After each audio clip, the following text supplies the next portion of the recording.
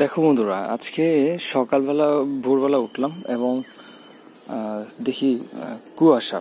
তো কিছুদিন আগে তো শীত গেল, এরপরে গরম আসলো।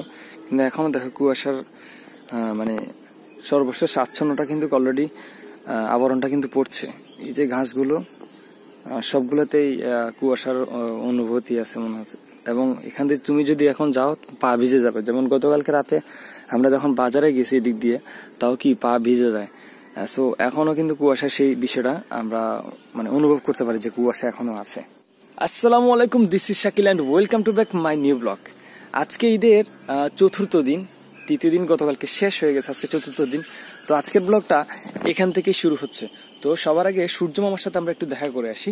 দেখো, সূর্য মামাটা ঠিক এই যে গাছগুলো দেখতে পাচ্ছ, এই গাছগুলো দেখতে যে একটা আমার আঙ্গুল বরাবর বর্তমানে যেখানে দেখতে পাচ্ছ, ওখানে ঠিক এই দিক দিয়ে উঠছে।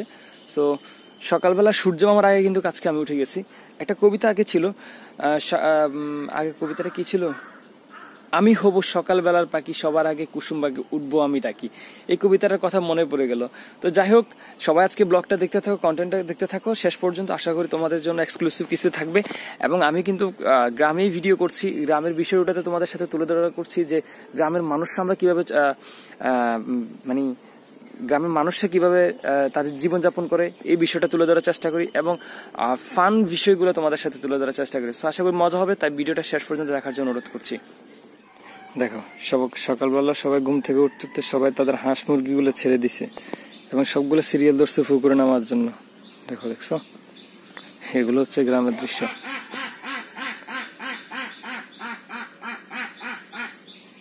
বাহ, কি মিউজিক রে বাবা।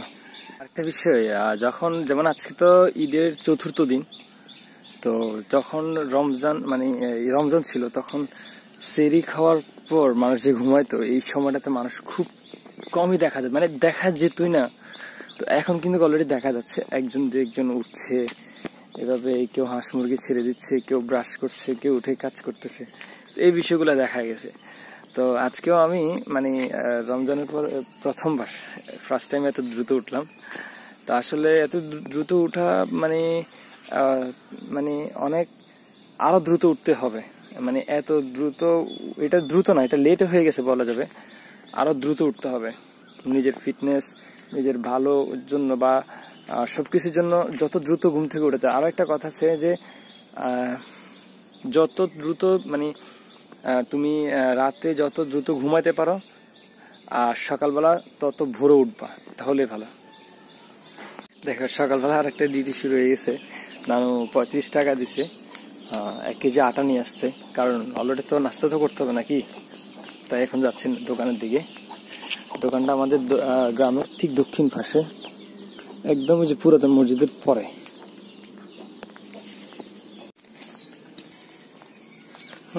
আটা নেওয়া কমপ্লিট যদিও এক কেজি থেকে একটু কম আছে, কারণ আমার টাকার পরিমাণটা একটু কম ছিল। আমি নিয়ে আসছি পঁয়ত্রিশ টাকা কা আটার কেজি নাকি বলে আটত্রিশ টাকা। তাই পঁয়ত্রিশ টাকার মিলে নিছি। দেখো, সকালবেলা উঠে একটু কাজে বেরিয়ে পড়লাম মামা আর আমি। আমাদের খামারের ছোট্ট খামারের ছোট ছোট বাচ্চাগুলোকে নিয়ে বাচ্চা এবং খাদ্য নিয়ে আমরা যাচ্ছি বাড়ির দিকে যাচ্ছি। অনেকে বেরিয়েছি। তার মধ্যে পথে একটু ঝামেলা ছিল হাইওয়ে পুলিশের জন্য। তো এখন আবার আস্তে আস্তে আমরা বাড়ির দিকে রওনা দিছি। সবাই দোয়া করবা আমাদের খামার ছোট ছোট বাচ্চাগুলোর জন্য যাতে ওরা ভালো থাকে সুস্থ থাকে এবং কোনো যাদের কোনো ধরনের যাতে সমস্যা না হয়। মোট কথা সবাই সবার জন্য দোয়া করবা। আরেকটা কথা ও আজকে আগামীকাল চলে যাবে তো ওর জন্য দোয়া করবা ও দুবাই যাবে তো দেখো এখানে খামারে যখন আসলাম, বাচ্চাগুলোকে কাজ মানে রেখে ব্রোডিং এ এখন একটু বেরোচ্ছে অনেকক্ষণ সময়টা দিতে হচ্ছে রাইসাকে খুঁজতেছো না তুমি? ওই যে রাইসা। ওই যে রাইসা লুকেছে কাপড়ের দিক দিয়ে। আর দেখো, বাইরে প্রচুর পরিমাণে রোদ মানে অনেক অনেক রোদ, দেখো, অনেক রোদ। তো তারপর কিছু করার নাই, এই রোদে আবার বেরোতে হবে, একটু লাকসাম যেতে হবে। কাজ আছে তারপর ওখান থেকে আবার সাথে সাথে ব্যাক করব। তো তার আগে একটু দেখি, বের হয়নি সামনে। তো গাইস এটা হচ্ছে লাকসাম। লাকসাম আসলাম। এখন লাকসাম থেকে এখন একটু বাড়ি যাব। তো যে কাজের জন্য আসছি, কাজটা প্রায় শেষ। এখন শুধু সিএনজি করে বাংলাটা যাব, এখান থেকে চোদ্দ তারপর বাড়িতে যাব। তো আজকে লাকসামের পর্ব এখানেই। যে পরিমাণ গরম পড়তেছে মানে মানে এটা বলার মতো না। যাক গরুর তেহারি খেলাম এখন। প্রচুর খিদা লাগছে তাই দুপুরে লাঞ্চটা সেরে নিলাম। তো এখন আস্তে আস্তে রওনা দিলাম যাচ্ছি। আমার আজকে মামারা ধরা ফেলছে। মামারা দয়াল সামনে মেয়ে দোয়ানের জীবনে গেছেন নাকি না? দেখি না দেখি না এই একটা কেবল কেবল এই একটা কেবল নিয়ে গেছে এটা বলে অরিজিনাল কেবল এটা কিসের এটা একশো বিশ টাকা থেকে নিয়ে গেছে এই কেবলটা বলে একশো বিশ টাকা। আপনি কোন কত তারপরে? তিরিশ টিংও আছে দিয়েছে তো। হয়েছে। হ্যাঁ, হ্যাঁ, তারপরে আচ্ছা আর মোবাইল বের কর কি আছে যাই বের কর। মোবাইলে মোবাইলে দেখা না। হ্যাঁ।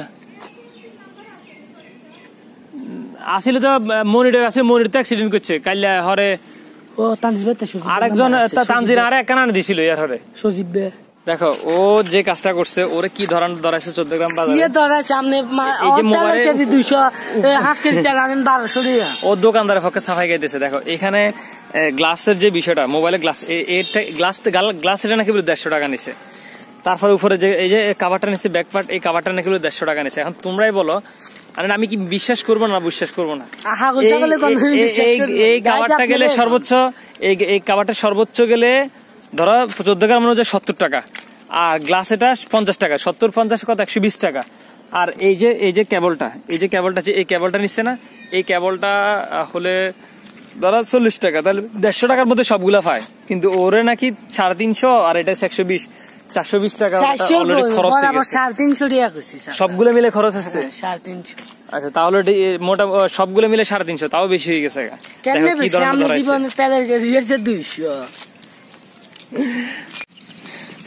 আমাদের কাছে অলরেডি খবর আসছে। আমাদের এখানে নাকি বলে একটা মেশিন নামছে ধান কাটার মেশিন। তো আসলে সত্যি মেশিনটা অনেক দূরে দাঁড়া একটু ঝুম করে দেখানোর চেষ্টা করি। ওই যে এই কি জোরে?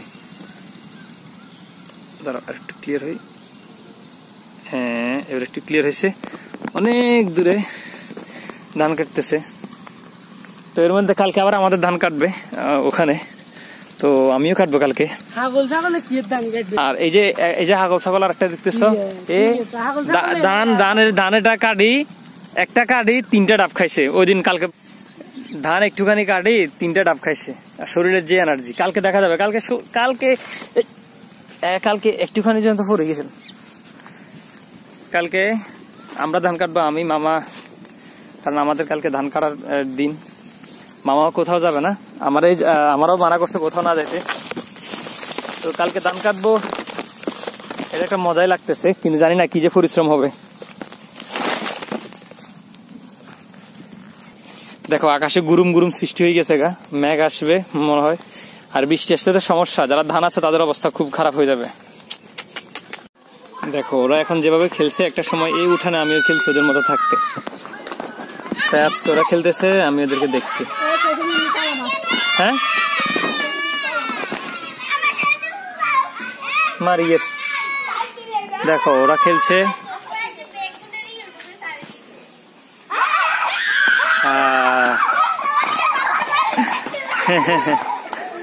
নাচ নাচ। নাচ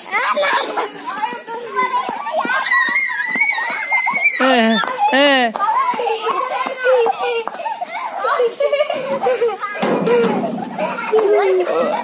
না বেগুন না। এই, মগার। দেখো একদম সন্ধ্যার সময় একটু পরে মাগরিবের আজান দেবে কিন্তু তার আগেই অজর ধরা বৃষ্টি এই যে বৃষ্টি যেটা তোমাদেরকে ব্লগে বলছিলাম যে বৃষ্টি দেখো পুরো বৃষ্টি। বৃষ্টি পড়া পড়তেছে দেখো। দেখছ? কি পড়া বৃষ্টি করতেছে তা অনেক বৃষ্টি। আর মাঝে মধ্যে এমন হয় কি, বৃষ্টিতে যদি যখন বজ্রপাত হয়, তখন এখানে পর্যন্ত মাছ চলে আসে, এইখানে।